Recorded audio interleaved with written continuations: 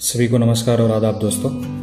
Farming India channel में आपका स्वागत है। जैसे कि आपने थंबनेल में देखा है कि ट्रैक्टर के अलावा खेत की जुताई जो होती है, हम कैसे करते हैं? लेकिन एक चीज़ मैं क्लियर करना चाहता हूँ कि ये जो टॉपिक हम बात कर रहे हैं it is not for the regular farmers ये रेगुलर फार्मर्स जिसके पास एकड़ों से ज़मीन होती है या बिगों से ज़मीन होती है, जो ट्रैक्टर से जुताई करते हैं, ये इनके लिए नहीं है।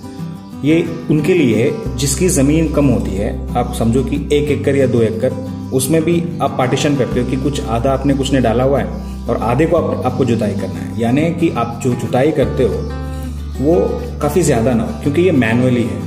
इसको आपको मैनुअली करना है। ये बल्गेरियन और रशियन टेक्नोलॉजी है जो कि वहाँ पे लोग यूज़ करते हैं। उस जगह पे जहाँ पे ट्रैक्टर नहीं जा सकती या ट्रैक्टर का रिक्वायरमेंट नहीं है या पैसे खर्च करना नहीं है।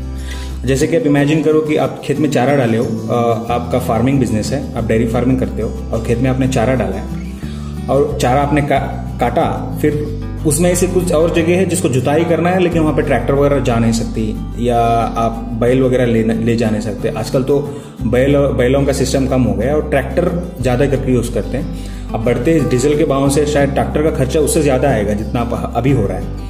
और कुछ ऐसे सीज़न में ट्रैक्टर वहाँ पे जा भी नहीं सकती। तो हम लोग उसको आइडल रखते ज़मीन को कुछ यूज़ नहीं करते। लेकिन ए सिंपल इक्विपमेंट जो बल्गेरिया के लोग या रश तो अब ये मशीन को बनाने का तरीका जो है, ये यहाँ पे बताया गया है।